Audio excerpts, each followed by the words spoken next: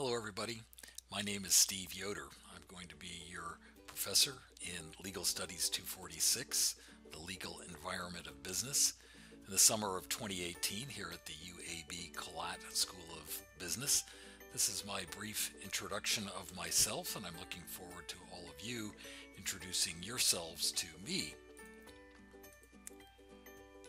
As you'll see in this course, I have an agenda for each one of our classes and for each short video that I might prepare for you. This is the way things operate in the business world for meetings. You agree up front what you're trying to accomplish, you stick to the agenda, and when you're finished with the agenda, you move on to your next meeting or whatever that might be. So here's the agenda for this quick video. My background, how I bring my business experience to you, the importance of your keeping up with this course over the 14 weeks of the course, and a little bit about what I do outside of class. My professional background. I received my undergraduate degree in political science from Duke University. I immediately went from college to law school at Northwestern University School of Law in Chicago. My first job was one I stayed at for 10 years at a large Pennsylvania based law firm, Reed Smith.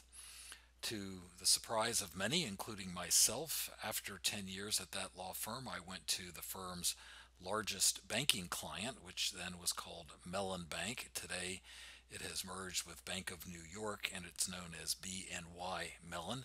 The image that you see of the building in the lower left is the building that I worked in when the bank was headquartered in Pittsburgh, Pennsylvania. Today, that bank is headquartered in New York City. I left Mellon Bank in 1995 to take a job in a city and state that I had never set foot in before, and that would, was Birmingham, Alabama. I became the general counsel of AmSouth Bank. AmSouth merged about 10 years later with Regions Bank, I, for a brief period of a year or two, joined the Birmingham based law firm of Balch and Bingham, where I practiced banking law. But I heard the call in 2007 2008 to go into higher education, and I thought I was going to be a college professor for whatever the rest of my professional years were. But again, to my surprise, moral of the story, seize opportunities when they come along, even if you're not expecting them. To my surprise, I began to do human resources related work for UAB, and today I am doing that substantially full time. My office is actually in the administration building for UAB, and I work for the provost, the senior vice president and provost of UAB, Pam Benoit, who's pictured there in the lower right provost is the chief academic officer of a university, and my title is associate provost for academic administration. I do a lot of work with the deans of the various schools at UAB, and in particular with the faculty of those schools. So I still have a great deal of law in what I do every day, even though I am no longer practicing law and I'm no longer actually at a for profit business. UAB in its own way is very much an enterprise, even if you don't call it a business, with some very, very interesting legal challenges that uh, you would expect from a complex organization. With that background, I think I have the right experience to help you learn at this stage in your business careers about the many laws that affect business. You can see here this graphic from chapter one of your textbook. We'll be looking at this in the preview video for the first week as well. You can just see the broad array of legal topics that affect business decision making. Uh, not on here would be human resources related law, but that's very much what I do on a day to day basis in my job as associate provost. Also, from my business background, I try to teach you about being a professional, including how to communicate professionally. If you look in the syllabus in this course, you'll find a video that's intended to be humorous. Please don't be offended by it, but it's by a it's posted by a professor at an unnamed university. Uh, it is an actual email that he got from a student who goes uh, by the email address cartmanrules99 lesson number one from this don't have a email address like cartman rules it just signifies that you're not taking life seriously and you're not acting professionally. Look at that greeting. Hey no. Nobody uses the word hey in a business greeting. Look at the very first letter. I am lowercase i. No. Look at the emojis.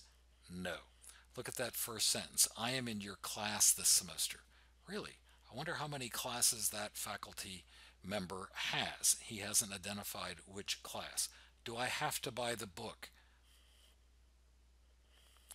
I hope you know the answer to that is yes, you do. LOL exclamation point.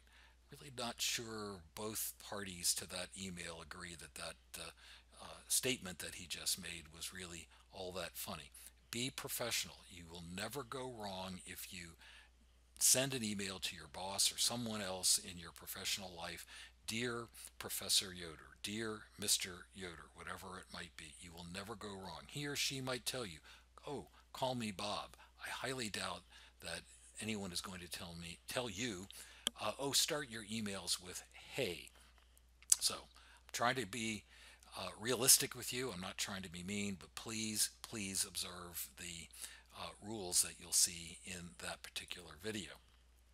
I use technology in this course, including VoiceThread. I'm going to be asking that you introduce yourselves to me using a tool that's embedded inside Canvas. Do not go to www.voicethread.com.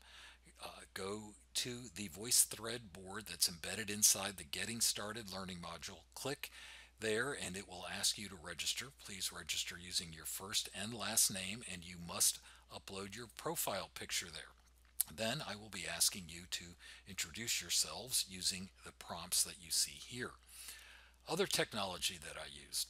I think many people are visual learners and we like to have a mixture of both uh, visual and uh, reading assignments. I use NBC Learn. Of course, I use Canvas. I use it very much. Everything is inside Canvas in this course. And I use YouTube as evidenced by the fact that this video is produced on YouTube. I try to keep up with current events. Uh, to do that, I create some extra credit opportunities using uh, legal developments that are in the news. For example, coming up, we'll see that President Trump's uh, ban on immigration and travel from certain countries is being challenged as violating the United States Constitution. Not this week, but in future weeks, there will be extra credit opportunities that you can fulfill by sending me a Canvas mail message. It's the only way to get credit for those points. Please don't ask me at the end of the semester, oh, how did I go about getting those extra credit points? This is how you do it. President Trump has made a big, big difference in the law. Virtually every week, something comes out where he has changed some law, and that law might affect business. We'll be looking at a number of them, including his travel ban that I just mentioned. Finally, a little bit about me outside of class. I enjoy gardening. I have two dogs. There's one of them uh, sunning himself. He's a Jack Russell we rescued from North Carolina two years ago. His name is uh, Opie. That's my backyard. But what is really important to me is my family. Uh, my uh, immediate family is my wife and me. We're the two who are seated in the chairs. We have three daughters who are scattered among the uh, faces that you see there. Uh, each of those daughters is married, and their sons in law are scattered among the faces you see there.